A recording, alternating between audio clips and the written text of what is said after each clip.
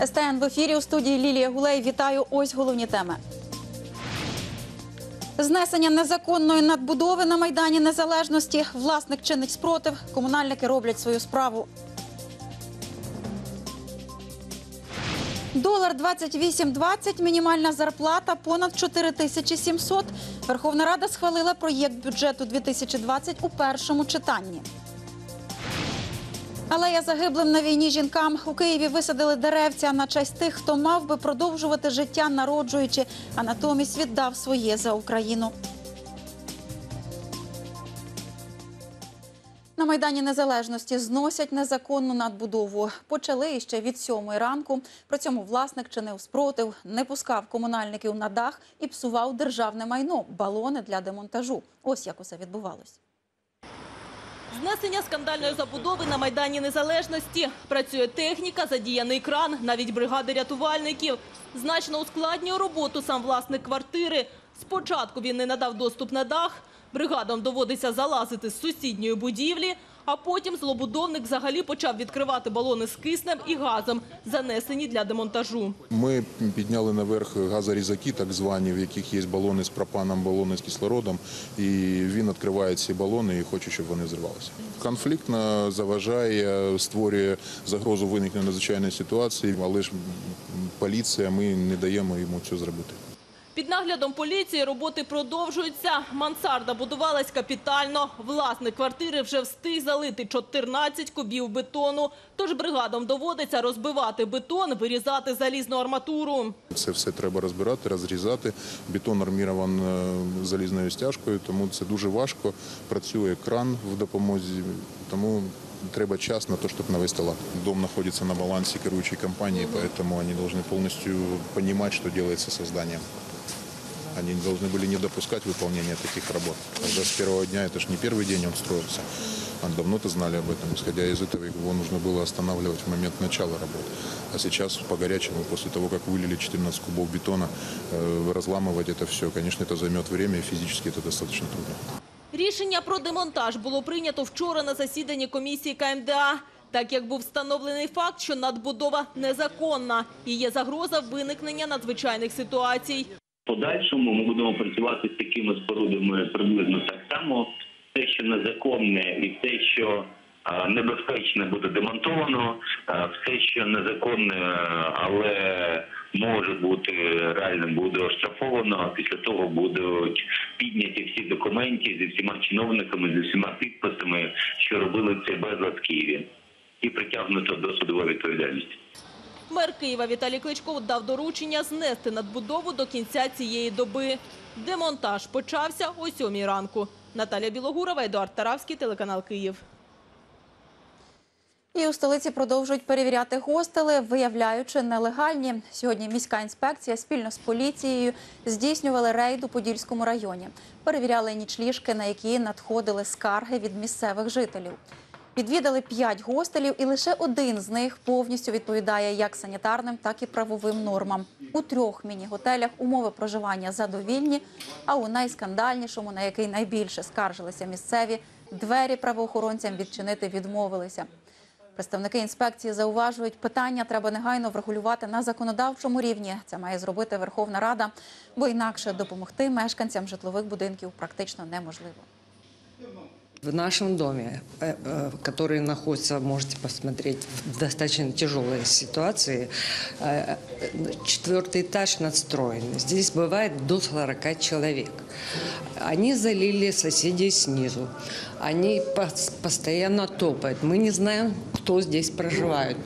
Иногда люди ходят с такими лицами, что хочется умереть. Оставляют после себя мусор, обедают под каждой квартирой. Те, которые, к сожалению, мы не попали, те, те, которые нам не открыли, это как раз квартирные хостелы, на которые жалобы, но мы не имеем права, э, ну, если люди нас не пускают, мы не имеем права туда заходить. В любом случае, мы очень ждем э, от нашей Верховной Рады, чтобы приняли наконец-то понятие хостел. На сегодняшний день, так как пока какой-то законодательной базы нет, то нам сложно бороться с такими хостелами, потому что каждый человек имеет право на собственность. Суперечливих чи конфліктних ситуацій у столиці насправді чимало, хоч і не всім їм надають розголосу. Але втрутитися у хід подій може кожен містянин. Якщо вас турбують проблемні питання, що стосуються життя столиці, можете задати їх міським депутатам. Сьогодні телеканал Київ запускає новий проєкт Київрада. Перша програма в ефірі якраз після випуску новин. І ось зараз тривають останні хвилини приготування. Можемо побачити. Ну і власне більше подробиць про сам проект розкажуть ведучі Сергій Дойко та Альона Горяча. Колеги, вам слово.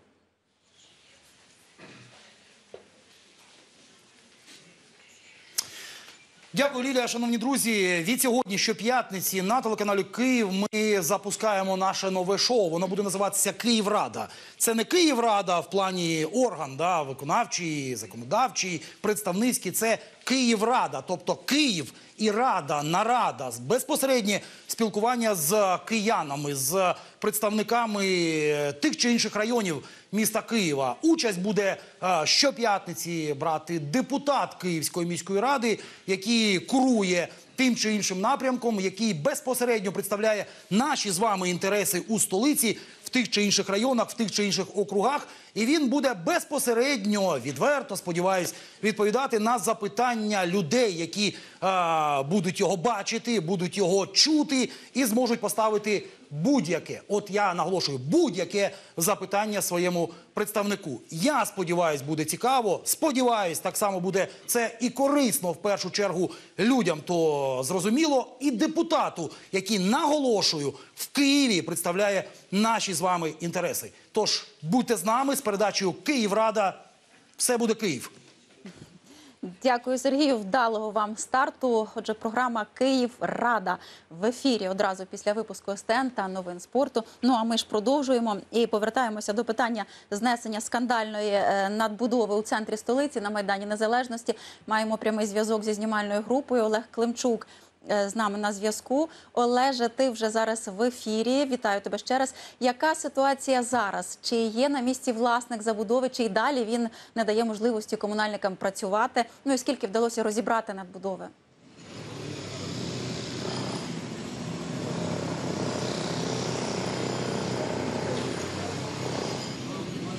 Чує нас Олег. Олеже, ти в ефірі, чи ти нас чуєш?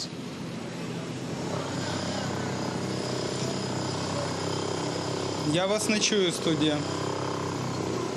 Отже, ми спробуємо з'єднатися з Олегом е, протягом випуску. Поки що е, продовжуємо. Про державний бюджет Верховна Рада ухвалила у першому читанні законопроєкт держбюджету на наступний рік. У кошторисі передбачені доходи на рівні 1 мільярду 79,5 мільйонів гривень. Витрати приблизно на 100 мільйонів більші.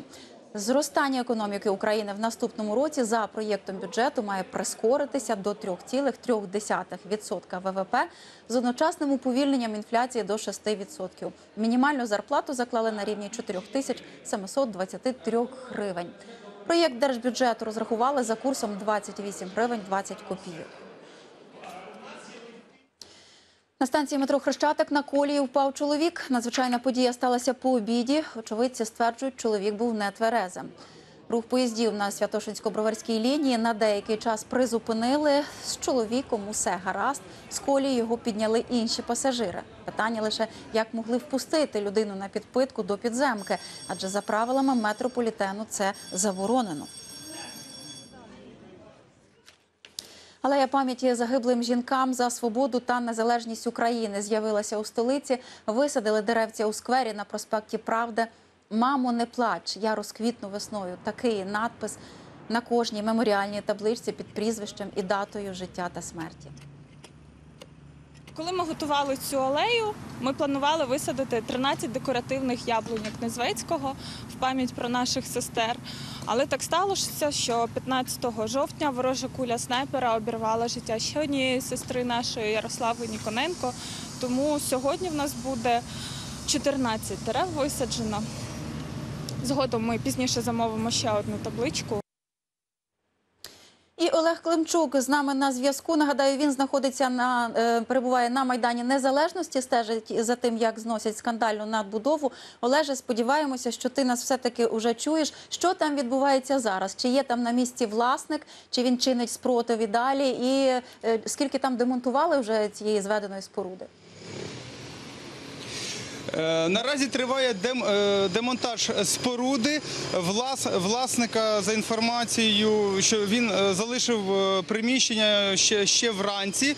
А зараз більш детально про ситуацію, яка відбувається тут, нам розкаже керівник управління з надзвичайних ситуацій КМДА Роман Ткачук. Пане Романе, прокоментуйте, що яка ситуація наразі, що вже зроблено, і власне коли ви плануєте завершити демонтаж? Согласно протоколу комиссии ТЭП-ТНС, с 7 утра мы начали работы по демонтажу незаконно установленной надстройки на, по улице Софиевская, 1. Э, Работают коммунальные службы города и спасатели нашей аварийно-спасательной службы оказывают им техническую поддержку при выполнении данных работ. Сама по себе работа очень сложная и тяжелая. Э, Мы должны до конца дня сегодня полностью закончить демонтаж данных, данной надстройки на фасадной части. Э, Много времени уходит на демонтаж двух, двутавровых балок, которые жестко вставлены, вмонтированы в перекрытие. И сейчас уже балки демонтированы, сейчас ребята занимаются разборкой фасадных стен. Работы будут продолжаться до полного выполнения, до полной разборки надстройки. Е, Чи не було ну, більше е, спроб чинити опір і якось заважати демонтажу? Естественно, что с самого утра были конфликты с властниками квартиры, с представителями, с адвокатами, дан, э, которые представляют интересы данного властника. Эм, Мешали выполнять работы, забирали инструмент, открывали баллоны с пропаном, открывали баллоны с кислородом. В действительности такие действия могли бы привести к возникновению чрезвычайной ситуации, связанной с взрывом в помещении. Исходя из этого, естественно, мы приняли все меры для того, чтобы этого не произошло. На данный момент следственно-оперативная группа разбирается с властниками данной квартиры. Дякую вам за коментар. Отже, така ситуація на даний момент. Студія. Дякуємо тобі за подробиці. Олег Климчук та представник міської влади про знесення незаконної надбудови на Софіївській 1. Це фактично у центрі столиці на Майдані Незалежності. Продовжуємо випуск. Водій справжній денді працює на маршруті 16-го тролейбуса. Фотографію імпозантного кермувальника виклав у Фейсбук дописувач Юрко Мароу із підписом Ввічливий і стильний кермувальник у білосніжній сорочці з метеликом надзвичайно покращує настрій. Як звати водія невідомо, але в інтернеті він уже здобув популярність. І про погоду до заходу сонця ще година, тож ще можна насолодитися теплом. 19 градусів зараз у столиці. Вітер південно-східний 1 метр за секунду. Вологість близько 50%, атмосферний тиск 750 міліметрів ртутного стовпчика. До вечора буде ясно. Такі події цього часу залишайтесь. Усе найцікавіше лише починається.